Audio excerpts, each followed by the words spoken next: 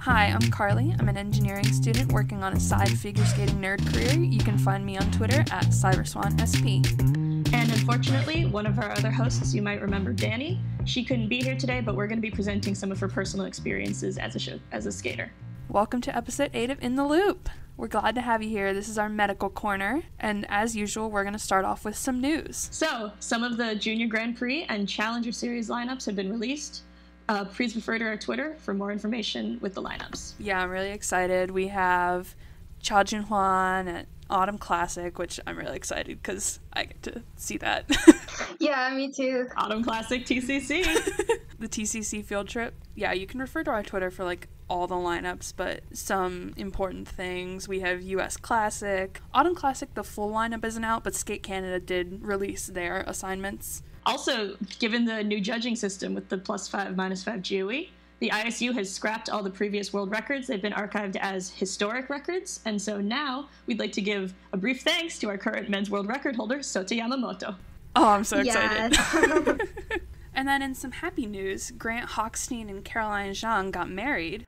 yeah, I saw their photos. Just Caroline looked so good. Jason Brown was at the wedding looking good in his new hair. Yes, and in some more sad news, Tatsuki Machida has performed his last show at Prince Ice World in Hiroshima, and we're all very, very sad, and we will miss him from professional skating. Nina and Karly are a little bit extra sad. Wish him well in his research and all that he has to do, but Don't- He's okay. He's still in Japan Open.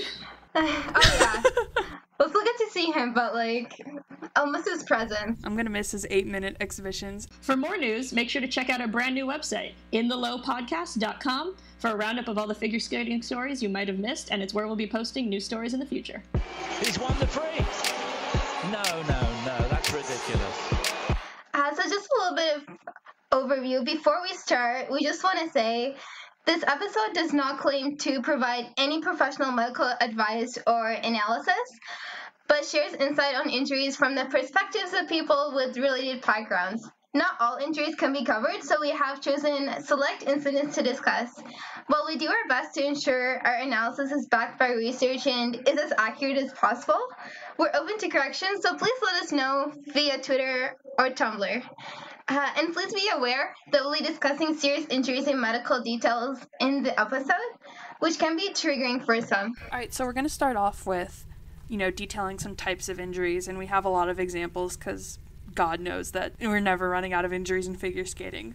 So, no matter how good you are, ice is still slippery, blades are still sharp, and you will find yourself injured sometime in your figure skating career if you ever decide to strap on a pair of skates. Speaking from personal input, I've been in a pair of skates, I've fallen, I've hurt myself. Yep, can confirm. I mean, first time I skated, I fell down on the ice and hit my head. If you take any figure skater and ask them if they've been badly injured in the last year, the answer would most likely be yes. So let's try this right now. Maryam, you've been a figure skater for a while. Have you had pain anywhere in the past year? Yeah, um, for sure. so I've only been skating since last year, but I've still had my share share of like skating pains. I've gotten stitches on my head because I felt like I was trying to spray my friend with ice and just fell on a stupid stop. Um, had to get stitches and because my glasses went into my head, and so I'm never skating with glasses again. Um, another time I fell on a spiral, had pain walking for like three days, had cramps because of um, incorrectly fitting boots for like multiple sessions in a row, and I've had to take multiple breaks at the size of the rink just to like uh, take a breather because the cramps would get that bad. And so this is an insert from Danny, but let me just say, if you're a figure skater and don't have stitches yet, you will. Ouch. it's the truth. Just like accept it right now. So let's start off with ankles and feet, which are, you know, kind of where I assume most injuries are because you put a lot of pressure on your feet. So, what are exactly are boot problems? What's really going on when your faves talk about boot problems? So, stiffness in figure skating boots puts a lot of pressure on the ankle, especially brand new boots that take a while to break in. Pain areas include the ankle bone, the fibula, and the tendon right next to the Achilles on the inside of the ankle. The affected skater may need to change boot manufacturers, put padding around the affected area, and assure good foot and blade placement relating to the boot. Personal input from not a skater. My ankles suck. And whenever I put on figure skating boots, um, I always notice how stiff they are, like the rental skates, of course. Oh yeah. I mean, aren't those made of like plastic? So that would probably have a lot to do with it. like the first time I put my skates on, I used to skate with hockey skates. They were so loose around your ankle, but these ones are so stiff that it just causes you cramps um, if you're not used to them at first. So there's definitely a break-in period for every figure skate. Um, and it just depends on like the stiffness of the skate itself. Lace bite occurs when pressure is put on the ligaments that connect bones on the lower foot and the shin, and they happen. It happens from improper lacing technique or the material that makes the tongue of the boot, the part that sticks up in between the two sides, isn't supportive enough.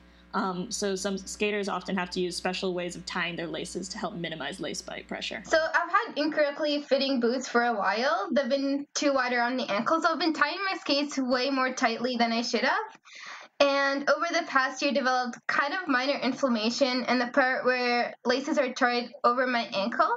And the skin is so dry to the point where it's like uh, turned brown in a sense.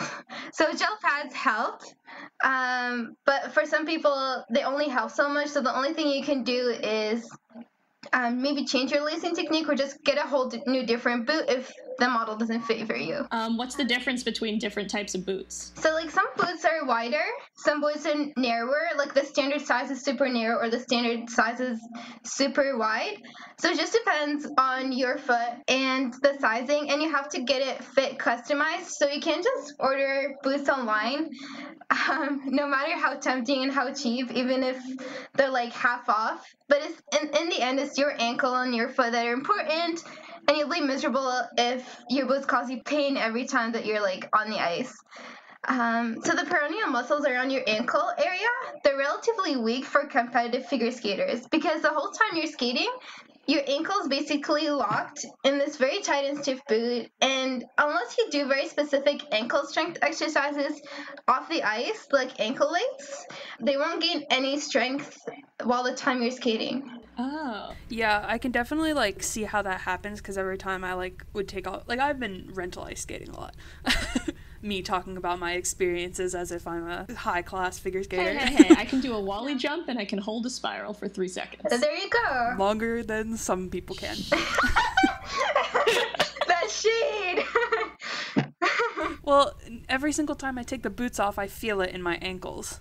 So like I can definitely see how ankle strength exercises can help with that. It's actually kind of similar to uh, I used to rollerblade and you use your shin to support yourself a lot, right. but it would feel like your ankle was actually just very stiff and very tired afterwards because it wasn't actually doing a lot of the work. Yes, exactly. Also, the ligaments in your ankles and knees are only able to withstand about eight times your weight in gravity, and only if the force is vertical instead of horizontal. So when skaters fall sideways really badly, um, like Yuzuru Hanyu at NHK 2017 or Alexei Krasnozhon, the lateral force can make the ligament much more likely to stretch and tear. That's because they're only supposed to withstand vertical and not like that much lateral force. Yeah, so we also have overuse injuries, which many people might be familiar with. Skaters train very hard, and this puts a lot of repetitive strain on their bodies. The most common stress fractures coming from overuse injuries is a metatarsal stress fracture, which you may have heard of for skaters such as Adam Rippon, Yuna Kim, and just this season, Yevgenia Medvedeva. Um, so, metatarsals are the bones in your feet. You have five of them. Um, and stress fractures are micro tears in bones that come from either excessive force or repetitive trauma. So, overuse is a form of repetitive trauma. Um, according to a study published in 2008, the main risk for stress fractures in skaters is the repetitive landing of jumps with more than one rotation, which is most high level competitive skaters. Um, another risk factor is competing as an adolescent. Um, both adolescents still have a lot of soft tissue in their bones for where, where, bones will grow as they get older, and soft tissue is more prone to injury. So yeah, the metatarsals in your feet. You've got two on the sides that are especially prone to injury because skaters, you know, they skate on one edge or the other, not so much a flat blade for both skating and jumps. Um, And then female pair skaters also have a relatively high risk for metatarsal stress fractures because when they're thrown, their jumps go really high and they come down with a lot more force on one of the edges. Um, so an example of a metatarsal fracture, Yevgenia fractured her fourth metatarsal just this past year. She ended up eventually having being forced to take time off. The reason for that, I think, it was because her training sessions are so rigorous. So Eteri's like in Eteri's rink, they're known for having multiple uh, jump sessions in uh, in a day. Evgenia Medvedeva is known for training sessions of really repeated jumping for consistency. It's a, lot more jumping than skaters had to do in the past. So skaters this year sometimes their coaches might feel uh, it's better to have them do training sessions and they're able to, but your ankles can only withstand so much, especially if you're training like seven hours a day on the ice, which is what Does. Yeah, and Nathan Chen has been quoted saying that when she missed a jump in practice, she would redo it, even up to 10 times in a row until she got it right. And it's quite likely that this sort of heavy training can build up until it creates a stress fracture. So, moving on from stress fractures and overuse injuries, one training injury that I was surprised I'd barely heard about regarding figure skating, considering all the falls that happened, was concussions. We always think about skating injuries as broken ankles or knees, you know, things in your feet, but concussions are actually fairly common. Um, Ashley Wagner has actually spoken on the record about them relatively recently. She said that when she was a teenager, she'd fall a lot um, and because of the brain damage, she had a lot of trouble focusing on her performances. She said she felt very lost while she was skating. And she also said that her academic performance suffered. She couldn't do math the same way she used to. Yeah, so it definitely has like impact on some areas of the brain, whether that's math, whether that's remembering choreo, that kind of stuff. Um, so another notable case is Joshua Farris. He's pretty famous for having had some pretty severe concussion incidents. He fell on the quad toe in practice and snapped his head back really hard, like whiplash. Then he fell again, probably due to continued invisible symptoms from the first concussion. And then he hit his head while entering a car, which not skating, but pretty horrible luck, and definitely worse since it came right after two skating concussions. All within three weeks, so he ended up having to retire because he had migraine headaches, his dyslexia got worse, and rink environments became really overstimulating because in a concussion, um, you're sensitive to light, you're sensitive to sound, that kind of stuff, and his was really, really bad. Yeah, and rinks are always so lighted. Yeah. So I can imagine how that can be bad, and it's just a really well known case, unfortunately. Even spins can contribute to concussions. So we have the case of Lucinda Ruh, who is famous for her spins, especially the layback spin. So according to a sports medicine expert, the layback spin is like a centrifuge that you see in the lab, pushing blood into the head really hard. But then when the skater stops spinning, the blood comes rushing back out of the head very quickly. Lucinda said that for years she felt like she was going to die during her spins and after and during her skates and doctors eventually realized that she may have been having micro concussions from her spins for much of her career. Jesus. Yeah, like laybacks feel like kind of like you're doing a headstand. You know how your head feels like that? It feels heavy. It feels like when you get back from the ha- from the handstand, um, all the blood rushes back to your head, so you get dizzy. Yeah, I was gonna say, imagine But- she must have felt very lightheaded. Yeah, and over time, it's just a lot. Yeah. And I mean, skaters, I, so ice is just dangerous, but is ice all the same? I mean, it's just like frozen water, right? Wrong! it is not that all ice is the same, and you can kind of tell this with how the Zamboni will come out and resurface the ice. So there are different kinds of ice, and they feel different to skate on. And a really good example is Boston Worlds 2016. That was bad ice. Oh yeah, it was like there was visible puddles you can see. Um, so hard ice is cold and more dense. Soft ice isn't as dense and is usually harder for blades to grip. A skater may be forced to change their technique slightly when skating on a different ice surface, potentially resulting in injuries. Competitions should ideally be held in uniformly sized rinks, Olympic standard size ice rinks, since skaters have specific timings for jumps, but it's not always possible. Like sometimes they have to have competitions in NHL sized rinks, which are less wide. And while skaters are used to adjusting their programs anyway around the rink, but it's an extra step that uh, could um, deter their concentration. So more importantly, though, the temperature changed drastically between the short program and free program at Boston. This could have been because there was a lot of people that showed up for it. The rink might have not used to that amount of body heat and could have affected the ice and made it softer and made more puddles there.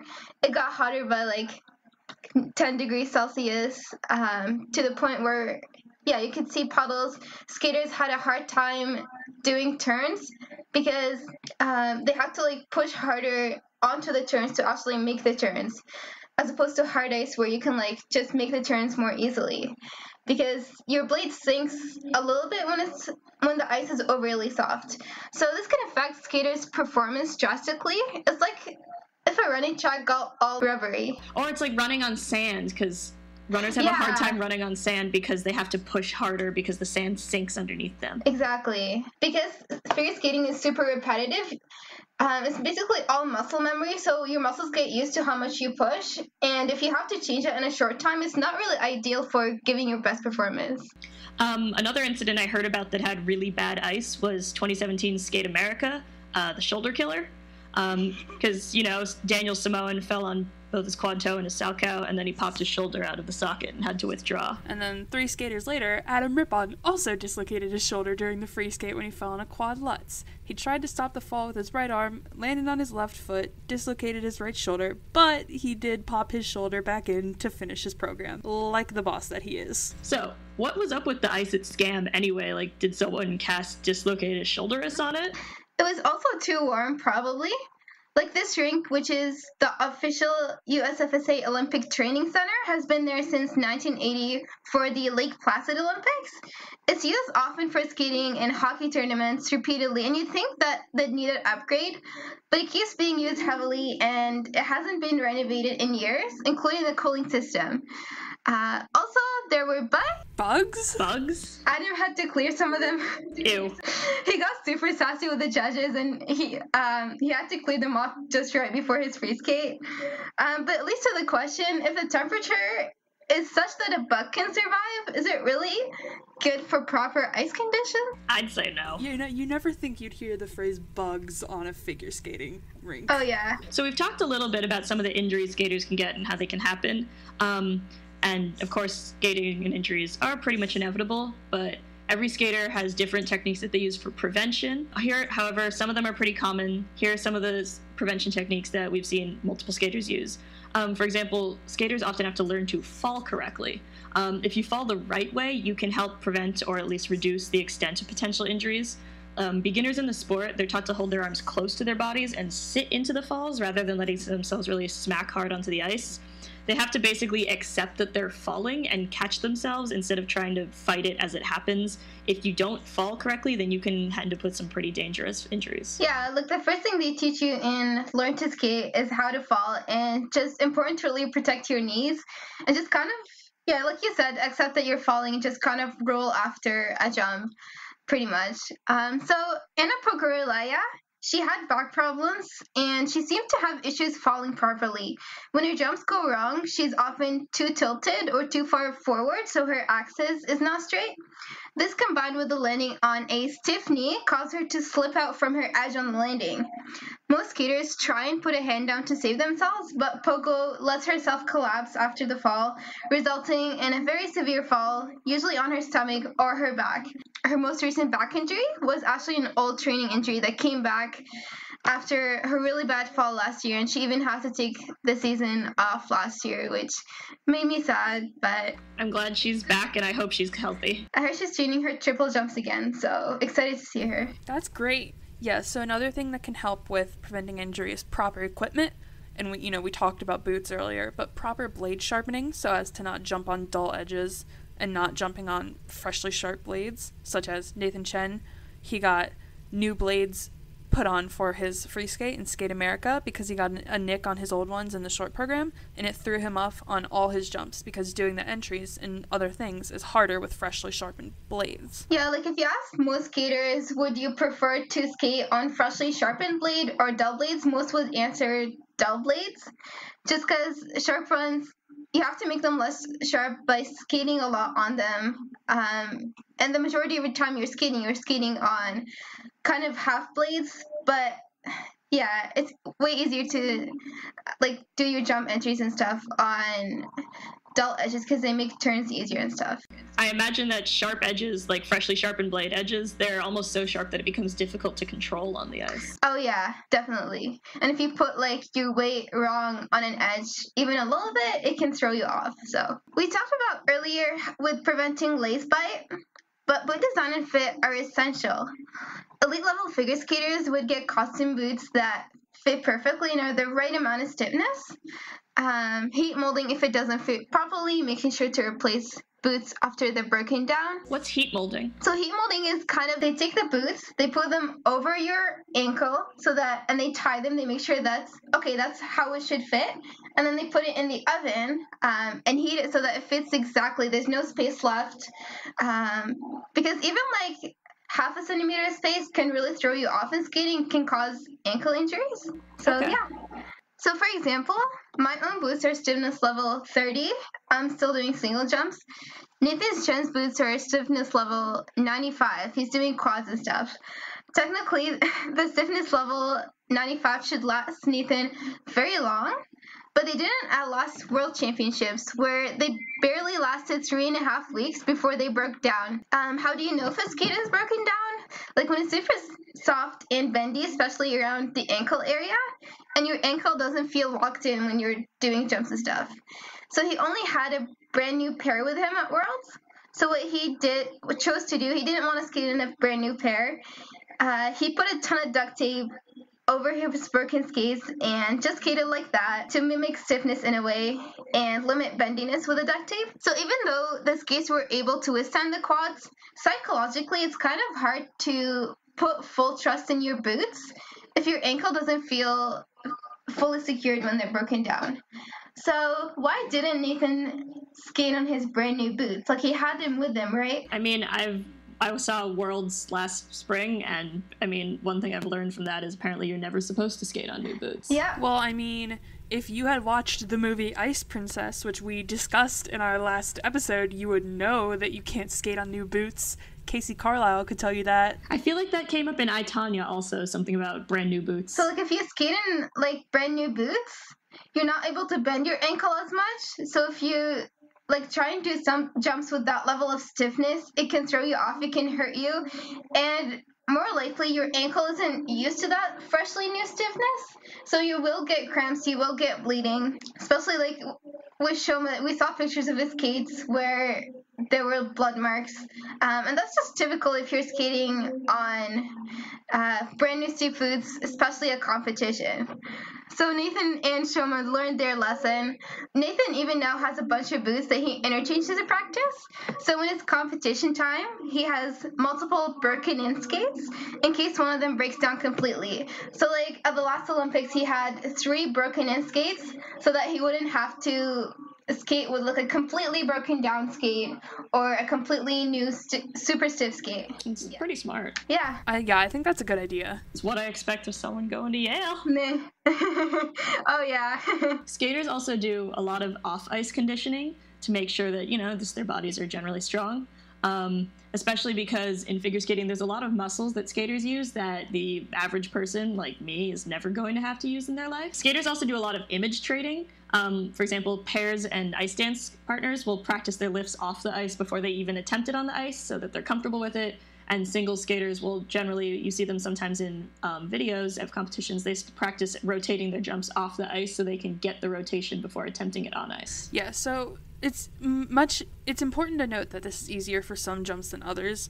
You know, it's easier to rotate a double axle off ice than on ice compared to salchows and loops because you need speed and a good solid edge, which is kind of hard to get on running shoes.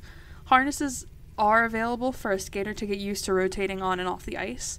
And also, when doing off ice jumps, skaters are instructed to only jump on rubber surfaces because concrete puts too much stress on their joints. Oh, is that why the off ice area, like around the rink, is usually made of rubber? Yep, it's always it always has to be made of rubber because it decreases the impact of off ice jumps.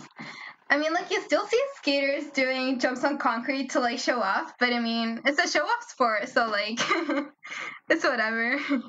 As long as you're not doing it like every single day. So image training also has a psychological dimension. Yuzuru did a lot of image training, watching his old successful programs and running through his steps to remind himself what his routine should feel like when he was in rehab leading up to the Olympics. So when he wasn't when he wasn't able to be on the ice, he just watched himself um, kind of do the run through in his living room, that kind of stuff, just to get his head um, in that mindset of this is what my program should feel like. Um, something else you might have seen is KT tape. Um, Yevgenia Medvedeva wore it at NHK Trophy. Mirai Nagasu wore KT tape with the USA print on her thigh at the Pyeongchang. People thought it might have been a tattoo. Um, it's supposed to help support your muscles. Studies aren't quite sure if it has like an actual um, significant effect, but even if it does have a tiny effect, or even if it's a placebo, um, that mental edge can help a skater get on the podium. Yeah, and so there's also things like butt pads and knee pads to protect skaters, like you know, when trying new jumps, and can help and it can help them to overcome the mental block of jumps. But not many skate with butt or knee pads at competitions because they spend thousands of dollars on costumes and don't want to ruin their look. See, helmets would also prevent concussions, but one, they don't offer a lot of protection, and two, they would possibly throw the skaters off balance. And three, there's no way the judges would like it if someone wore a big helmet during competitions. Because, again, ugly. This really raises the question of how much emphasis on beauty and performance there is in figure skating, which is not the case with most other sports, and it contributes to increasing risk of injury by making it hard to incorporate protective gear into performance, unfortunately. It reminds me of cheerleading. Yeah, Oh, yeah. cheerleading scares me. So now we want to talk a little bit about uh, medical response times because sometimes when there's really big drastic incidents, um, you might have seen, you know, the medics run onto the ice. Yeah, so we'll be using two incidents as real life examples of emergency medical response to see how this protocol is handled in a real life situation. The collision and the medical response of Cup of China 2014, where Han Yan and Yuzuru Hanyu collided during the five minute warm up. And the Paris team, Tatiana Totmianina and Maxime Marinin, where he dropped her on a one-handed overhead lift during the 2004 Skate America Free program, and she hit the ice face first and got a concussion. So the question is when do medics interfere versus just leave the skater as they are? Example, are they instructed to wait five seconds if a skater falls, and if they don't get up right away, head over to them? Because, I mean, you see falls happen all the time in a program, and usually they get right back up. So I know some people have criticized other skaters for not in- interfering when others are down. But if a collision or an emergency occurs on the ice, skaters are instructed not to interfere with the person that's down because, one, if it's a suspected head spinal injury, the other fellow skaters might be doing more harm than good. For example, telling the skater to get up when, if it's a head and spinal injury, they should not move at all. They shouldn't even nod.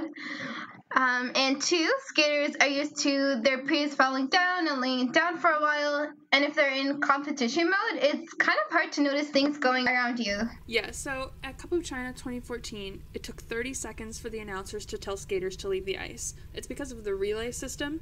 So the medic tells the timekeeper, who tells the referee, who tells the announcer that the skaters have to leave the ice. So the medics have to wait for that confirmation from the referee in order to go onto the ice.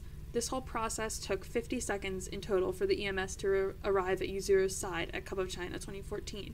With Totmianina and Marinin, it took about 30 seconds for EMS to get to her. Yeah, so this delay in timing can potentially be interpreted as inattentiveness from the medical personnel. The Eurosport uncle said there was no medical team, but in reality, the personnel were just they were just following protocol set by the ISU. I mean, still though, if we want the responses to be as instantaneous as possible, wouldn't it be better to leave discretion up to the medical personnel instead of having to wait for the referee's approval? Um, maybe the ra- the medic could have a radio, and then they could radio to the announcer.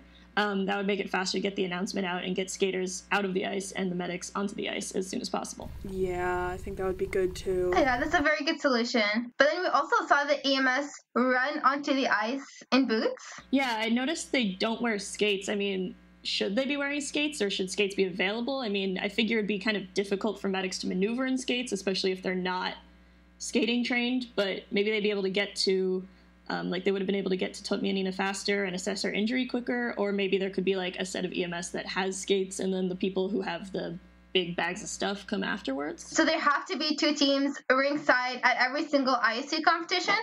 So this probably wouldn't work because the rink isn't that big. So it wouldn't take that long for the second team to reach them anyway. And the first team won't have time to do that much. Um, and it would be hard to carry their stuff. Uh, especially if you're on skates. Skates would probably be too dangerous, especially if you're having to lift somebody on a spinal board protocol in most paramedic services is to instead wear cleats on top of your boots and also helmets so as to not trip and slip while walking on the ice, especially if you're lifting somebody. Um, but in most videos of medics at ISU events, they're not wearing cleats and are trying not to trip on the ice while walking there. EMS, they also have to carry equipment like a spinal board, a cervical hard collar, and resuscitation equipment. So, for example, a very heavy oxygen tank as a minimum requirement, which makes it really difficult, slower, and even dangerous for the medics themselves to be moving on the ice without cleats.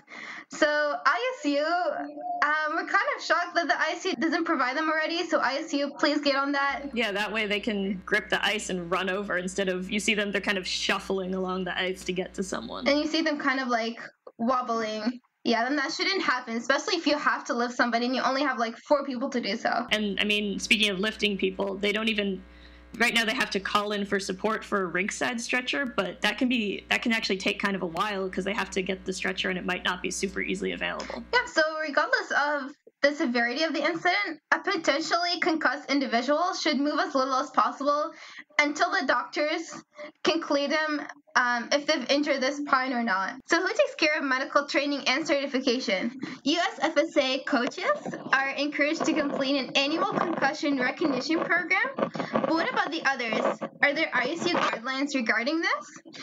In the Cup of China case, uh, there was no official medical doctor on standby to assess either of the athletes. There's there's supposed to be one doctor at ringside out of the four medics that are on the rink.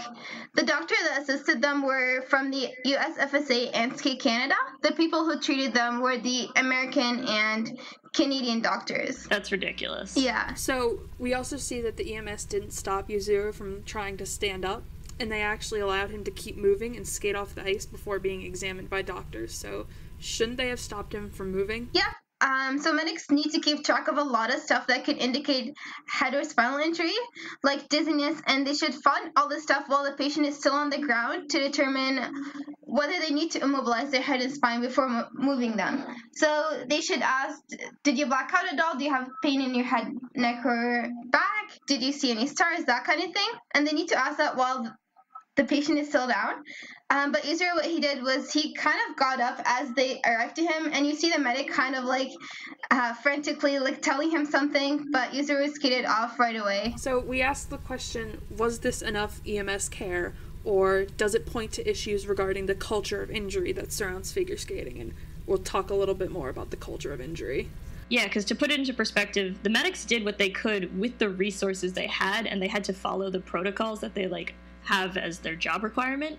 But we think that there are issues with the protocols themselves. Um, there should be uh, some changes in the relay system to instead of maybe. So we think that the priority should be to get the uh, skaters off the ice and have a full medical assessment done as soon as possible. So we think that they should change the order of the relay system. Maybe the medic gets first and then goes to the announcer and then the timekeeper and then the referee instead of the medic having to wait for the referee or the announcer to give them a um, to give them the okay. We also think that medics should have new protocols to make the medics safer while they're helping other skaters. Um, for example, in, in Nina's case, there were a lot of people helping lift her, but there have been other cases where you can see that there's not as many people, and if it was like a heavier skater and a medic slipped, then they could drop the injured person, which would be really bad if they had a head or spinal injury. I remember at one soccer game, this person um, broke their leg their bone was kind of popping out, and the medics put them on a stretcher. It was two medics lifting him. They dropped him. Ooh. Oh, God. So like, it's really important to ensure you have proper lifting protocols and you have proper equipment with you. So we've spent a lot of time talking about how figure skaters get injured pretty frequently, and how a lot of those injuries they've had to take time off, take a season, skip a couple comps. Um, in order to do physical rehabilitation. But what exactly does rehabilitation include? All right, so there's numerous treatment options, and they can all be individualized from skater to skater. The thing that's important is that the skater gets medical help right away after their injury and follows through with that rehabilitation plan that the physiotherapist gives them. So, not following through on recovery fully can lead to further injury. Example Yuzuru Hanyu Pyeongchang took painkillers and skated while still healing from his injury.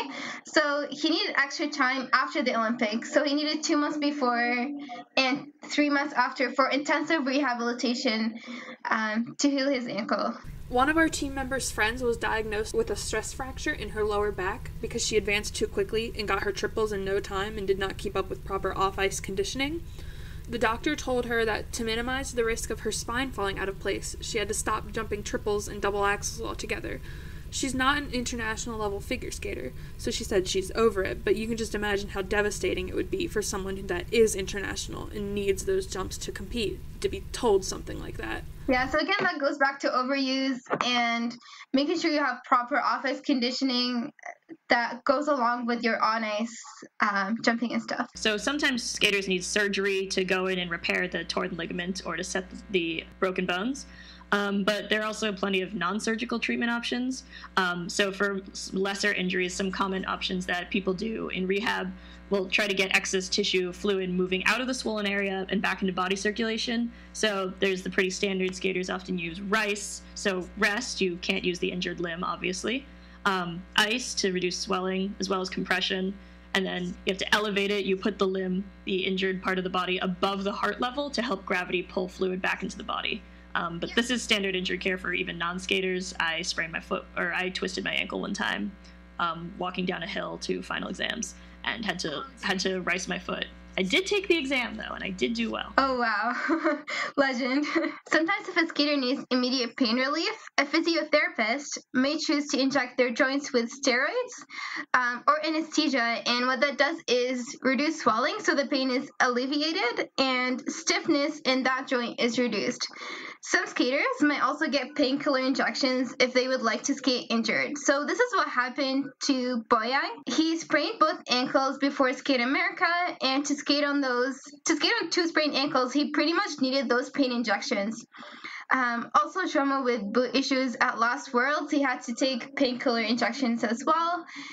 These are legal and sanctioned. They're just anesthesia, um, nothing to do with steroids. One aspect of rehabilitation after injuries that isn't very frequently discussed is mental rehab.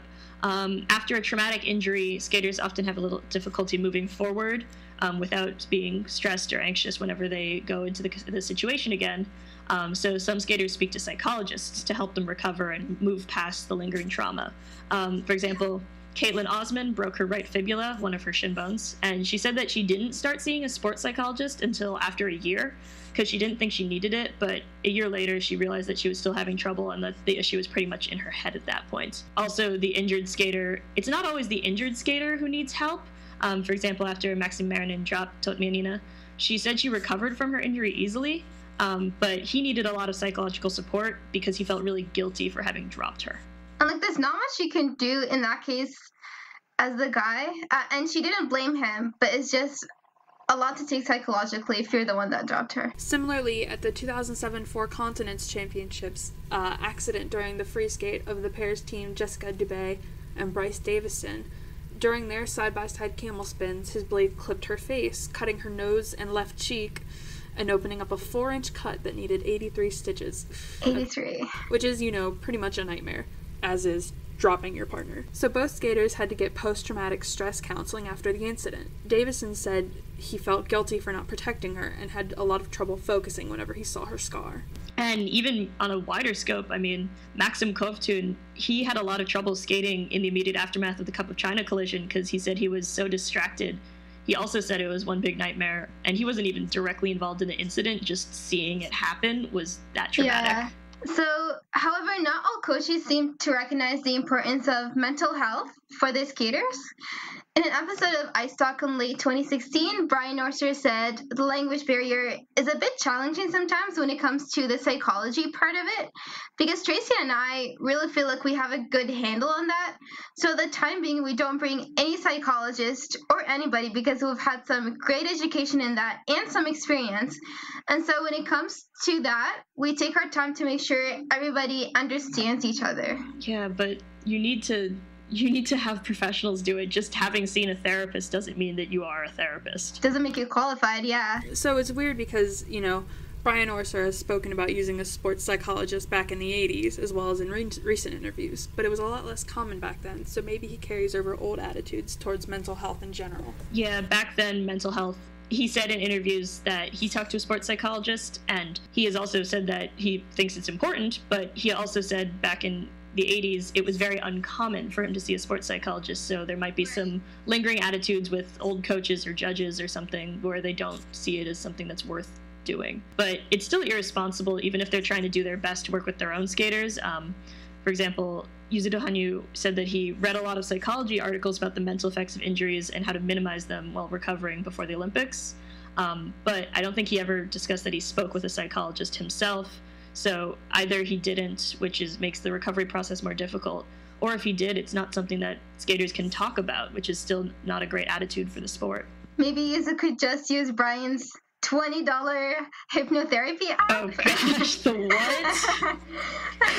the hypno- Peak performance, you know, the magical dulcet tones of rainforests that they play from a dorky looking headband, like in that one horror episode of Black Mirror.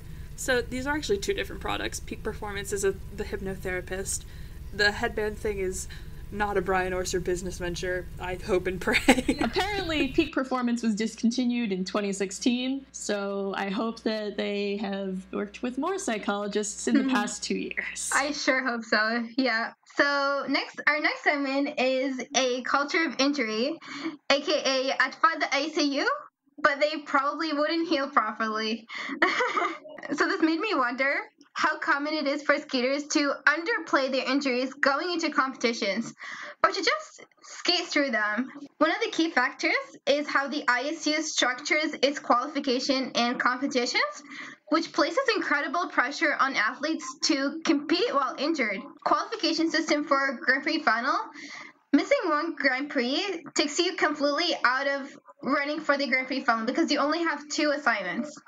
In Cup of China 2014, Yuzuru skated despite a horrific list of injuries to his chin, abdomen, and left thigh, and sprained right ankle where he could barely breathe or stand, just to get to the Grand Prix final that year. God, I just the first I I hadn't watched that video because I didn't want to, um, and then the first time I watched it, I was just like, oh my god! Especially now that I know more about concussion risks. Um, when I rewatched it, it's like even putting aside all of the falls on his jumps, the spins, like the spins are really fast, and the G forces. I mean, basically the entire time I was like, Yuzuru, think of your meninges. Like, do it for your meninges. your meninges are in trouble because he could have he could have like inflamed them more and made his and even though he didn't have a concussion, he could have gotten it worse. He could have given himself one. Or he could have gotten second impact syndrome, where if you have a first head injury and it hasn't recovered properly, you can then get a second injury within a really short time frame, and that can even be fatal because the brain doesn't have time to recover properly. Um, so Oh, it- it, seemed really irresponsible that the judges let him skate. I mean, I know he wanted to, but it's because there's no protocol in the ISU for skaters that have to withdraw from Grand Prix events because of injury and how it affects their placing, their qualification, their points. Um, if there had been such a system in place, like maybe he wouldn't have competed, maybe he would have, but the ISU needs to figure out how to keep skaters from gambling with their health just to get to the final. Yeah, and like at that time they had a protocol. Oh, if you're cleared for a concussion, you're good to skate. But maybe they should have other guidelines that maybe like if you have this, this, and this, you're not allowed to skate. So it's like, yeah, it's worth looking into. And it's not just the Grand Prix series. Oh yeah. So there's also pressure to compete at nationals for Olympic qualification and Olympic spots, and well-known injuries can hurt your selection chances. Yeah, so Ashley Wagner talked about this pressure. She said going into that Olympic cycle, the last thing you want to have public is a flaw, and a flaw that is not going to go away. a well known injury could worsen your chances of being on the world's or Olympic team. And God, skaters don't want that. Yeah, I mean, for example, Daisuke Takahashi, he had to skate injured at the Japanese Nationals in 2013 to qualify for the Sochi Olympic team because the Japan men's field was so deep. If he didn't compete at nationals, he risked losing his place. Yeah. Olympics only comes four years, so it's a big deal to the skaters. For Worlds and Olympics, there's a system where the placements of the skaters at Worlds determines how many spots they get for Worlds or the Olympics the following year, if it happens to be Olympics the next year. To base something so important on the performance at a single competition will inevitably lead to skaters pressured to perform, even while injured, because they would lose placements not just for themselves but also for the teammates. We should investigate the possibilities to award spots based on other criteria, like maybe world standings. Yeah, because world standings give a more comprehensive picture of how skaters are performing over the whole season so it doesn't come down to just one competition. Like Shoma Uno at Worlds 2018, um, when he had the boot issues and his foot really hurt and he had to get the painkiller injections, um, when he got his score, like he was tearful. He had like a tear like on his cheek. But the first thing he did was turn to his coach Mihoko Higuchi and ask if they got three spots. Um, especially because at the time he was the national champion and he was the highest ranked Japan man at the competition. So he felt a lot of he said he probably felt a lot of extra responsibility to place high and hold on to the spots for the next year. God, if that wasn't the most painful moment of my life. I never I never want to see him do that again. Like Shoma, that was that was It physically hurts. Another example is Wakaba Higuchi. Um, in her first senior season, she was a last minute replacement because Satoko Miyahara had to withdraw because of injury, and both Wakaba and Mai Mihara were blamed by online commenters for quote unquote losing the three spots for Japanese ladies because they didn't place high enough. yeah, the kind of thing can seriously damage you psychologically and really make you lose your motivation and feel so much guilt to compete at next worlds, even if you're injured and stuff. So, skaters from smaller federations may also feel pressure to compete while injured, as there isn't necessarily a substitute for them. So, Denis Ten is a key example, and I feel like I should say rest in peace. He was very strong. Yeah. And this is just another example of how strong he yeah. was. He tore ligaments in his ankles in the off season before the Olympic season and didn't fully heal, but he still competed at the Olympics, both out of desire for Kazakhstan to have a representative and also personally because he had Korean heritage and it was important for him to compete. His words after competing were, It's a pity we still don't have a growing generation of men's figure skaters, those who could give me the chance to take a break for at least a year to heal the injuries.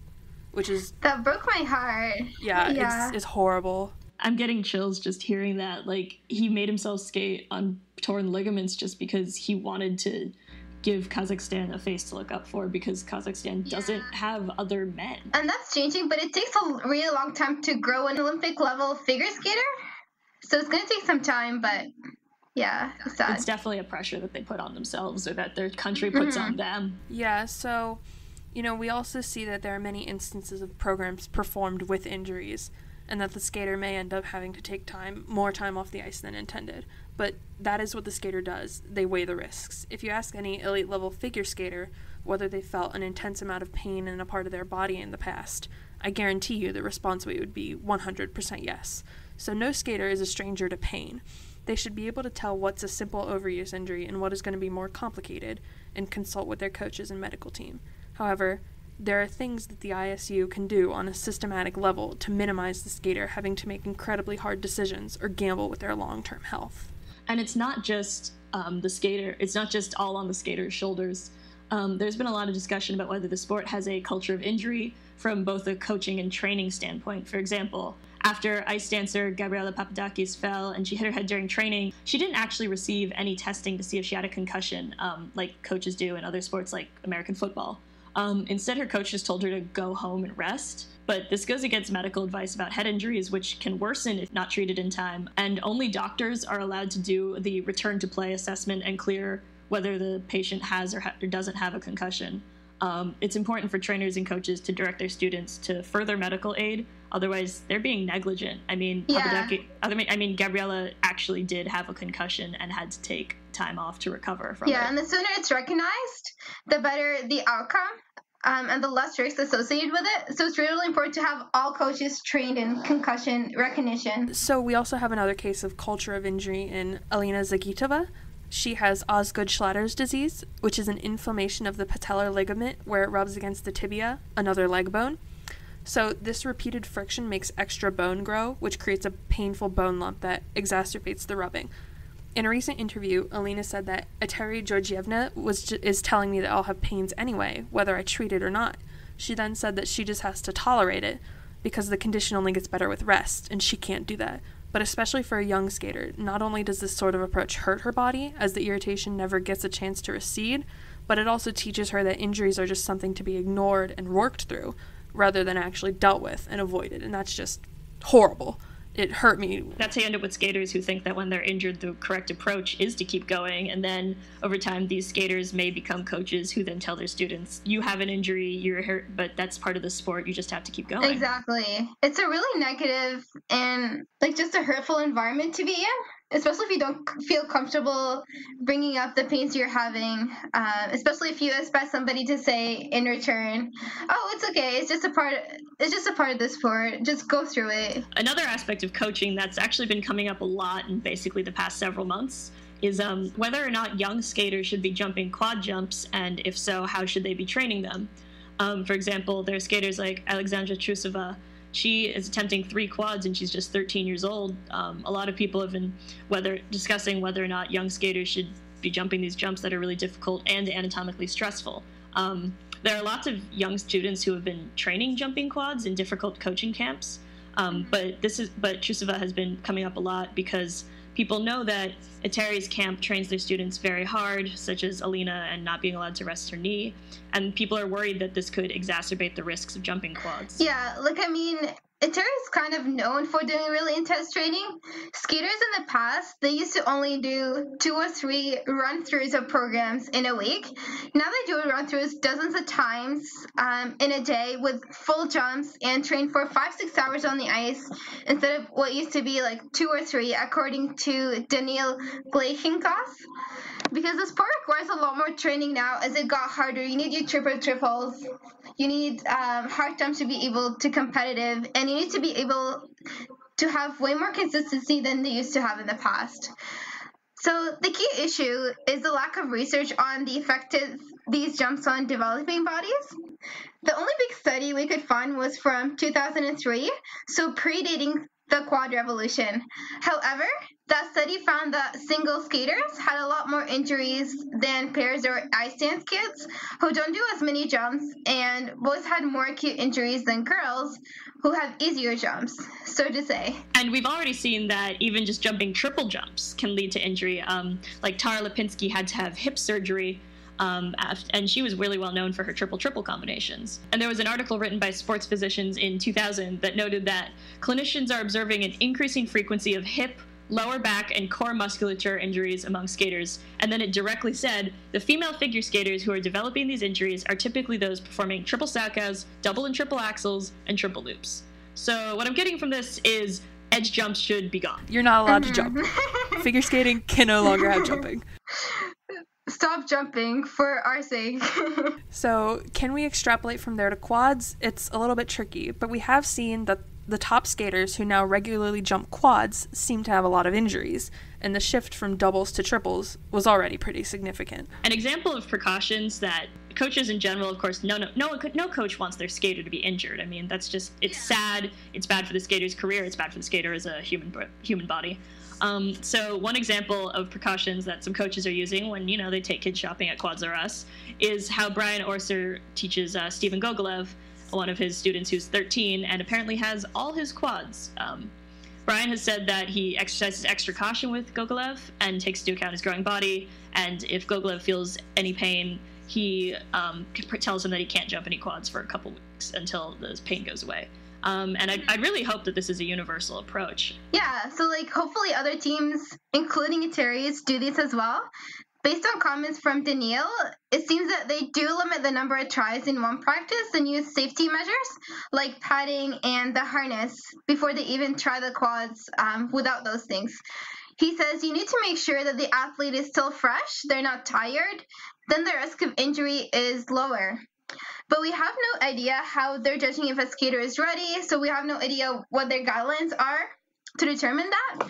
given the lack of scientific research, especially since the girls have only recently started quads as the age of like 11, 12, 13. Yeah, I was gonna say before Trusova, we really only had one quad from a woman, from Miki Ando. I mean, there are other girls who are training quads, like Gabby Daleman has a quad toe, I believe, in practice. But again, it's so early in the advent of women doing quad jumps that we don't have the research needed to figure out how it affects them. We don't have the research to, fig- to figure out how it affects like women's different pelvic structure or really young Right. bodies.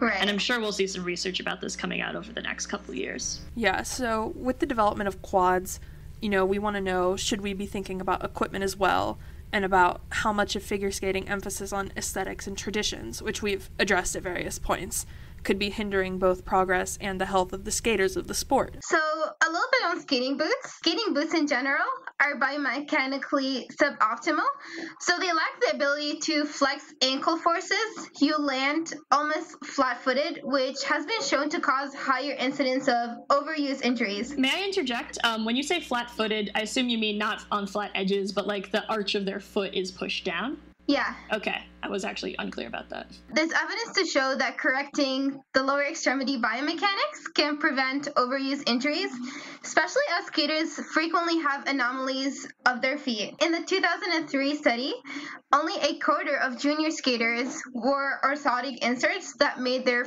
boots fit better. Even though about 40% they reported foot anomaly. So, how has boot technology changed since this was published?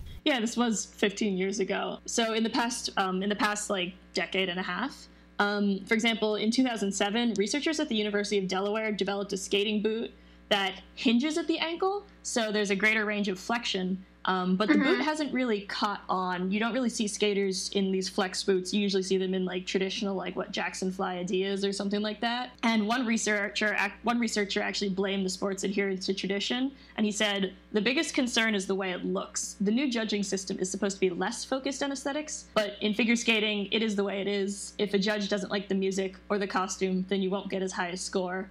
Also, wow, Yeah. at, wow at 2007 being the new judging system. I know. Former Japanese skater Takahiko Kozuka recently developed quad proof steel blades, which removed the problem of common blades, which are made of three parts welded together. Kozuka said that welded joints can sometimes break from the force of impact on the ice. And so I was really interested when this happened. It's promising to see innovation happening on the equipment, and, and we hope to see more. And it's actually very nice that it came from a skater himself. Yeah, I mean, I'm sure that as a former skater, Kozuka knows what is wrong with boots. He knows what Yeah. parts of the blade are least comfortable for skaters and how to fix them. Exactly. But it's not just boots where judges are harsh on appearances. It's not just costumes. It's not just protective gear, as we've mentioned. Um, body types alone are a huge issue in figure skating. We're not going to cover this in extensive detail right now. In fact, we will potentially have will potentially have a mini-sode on this topic in the future. But for listeners, um, for the next couple minutes, consider this a blanket trigger warning for discussion of eating disorders. Um, a pretty serious topic in the sport. But again, we're, we don't think that this is nearly en- enough time to cover the topic in detail. So the thing is, eating disorders actually fuel injuries even worse. Adam Rippon has said that his eating disorder, which he's talked quite openly about, contributed to his fractured foot. Um, with, when skaters don't get the right nutrients, especially skaters at really high levels who are putting a ton of stress on their bodies, using their muscles really intensely, um, they it just breaks down the infrastructure of their body. Their bones are weaker, their muscles are weaker. They can't support themselves, as well as, of, of course, their internal organs and other body systems breaking down, and their health being greatly at risk. Yeah, so a well documented case was Akiko Suzuki. Her, so her coach told her to lose weight for her jumps. In just two months after he told her that, she lost nearly a third of her body weight. So she went from 48 kilograms to 32 kilograms. Losing 16 kilograms in two months can put your career and life in danger, pretty much. She ended up developing a severe case of anorexia nervosa and had a really hard time getting her jumps back after she recovered and got treatment for that. Um, what she said was there were all these younger skaters coming along with good proportions, and I started wishing for longer legs. I got a real complex. So it's just tragic that there's this pressure on skaters to be really thin to have their jumps, and it's definitely another aspect to think about in terms of how the culture around figure skating is. It, it promotes injuries in many ways. Yeah. I think like to answer the question of is there a culture of injury, we can definitely say yes, unfortunately. Yeah, I mean, As much as it hurts Yeah. me to say so. I mean, I love the sport, but it's not good for the skaters. Like, there's equipment problems, there's coaching practices, and skater internal. Tra- there's internal mindsets that put a lot of pressure on skaters. Train hard, compete while injured. Yeah, some people may glorify people getting injured, but that's really detrimental to the health of the skater, especially if they believe they're expected to skate injured or they're kind of less than what they could be if they decide to take time and heal their injuries. Um, so something should be done about that. We shouldn't glorify injuries. We shouldn't glorify skating injured. We should foster an environment where skaters feel comfortable taking time off to heal injuries and stuff. Honestly, part of me wants to say, like, everyone just stop skating. No one figure skate anymore. Yeah, everyone stop skating, or everyone stop jumping. No more lifts, no more jumps. I would. I'll just watch you do crossovers around the rink. And he's, I think, broken another record here with that free skate. Oh, without a doubt. you know, after our wrap up, we have our shout out of the week, and uh, our shout out of the week goes to not to a lot of hair. It goes to the Toronto Cricket Club, who must have had a three for one haircut deal because we have the loss of Jason Brown's ponytail. I'll miss you. Oh, he looks so He good, looks though. So he's good. He looks so adorable. cute. And he looks so happy and sunny. I know. It's a big change, though. I'm not used to it. It's like he got the post Hamilton haircut. He looks so good and he looks happy. And then uh, Gabby Daleman, she's got her new blondish hair. It looks killer. Dang, Looks she looks gorgeous. she looks straight fire. It's so dramatic. We have Yevgenia's bangs making a return, I believe she said in her Instagram post. She's so cute, and now I'm just picturing like little Yevgenia Medvedeva with like Aw. little little bangs. She looks so cute. They all Yeah. look so good. And I'm a little worried for like the rest of TCC's hair. I was about to say I haven't seen him. I really hope that Cha Junhwa didn't get a haircut because if Jun has a haircut, I'm gonna miss the floppy boy. Uh, yeah. I Me know his too. hair is iconic, but I mean, we Not to mention some other skaters that we haven't seen who better not have shaved their heads. Thank you all for listening today. I hope you all will learn some things and there's some new topics to discuss. And we hope to see you again for our next episode, which will be about the first two Junior Grand Prix events of the season uh, Junior Grand Prix Bratislava and Linz. As we mentioned at the start of the show, we now have our own dedicated website for the podcast. Go to inthelopodcast.com to see feature articles written by members of our team, weekly news roundups. We've got a full event calendar for the new season with links to information about all the competitions, as well as information about the team itself if you want to get to know us. All that and more are coming at inthelopodcast.com. if you want to get in touch with us, please feel free to contact us via our website, Twitter at In the Low Podcast, or on Tumblr at inthelopodcast.tumblr.com. We're on YouTube as well. Just search for In the Loop Podcast and you'll find our episodes there too. If you enjoy the show and want to help support the team, then please consider making a donation to us at ko-fi.com slash in the low podcast.com. That's ko hyphen fi dot com slash in the low podcast. If you're listening on iTunes, please consider leaving a rating and a review if you enjoyed the show. Thanks for listening. This has been Karly. Maryam? Nina. See you soon.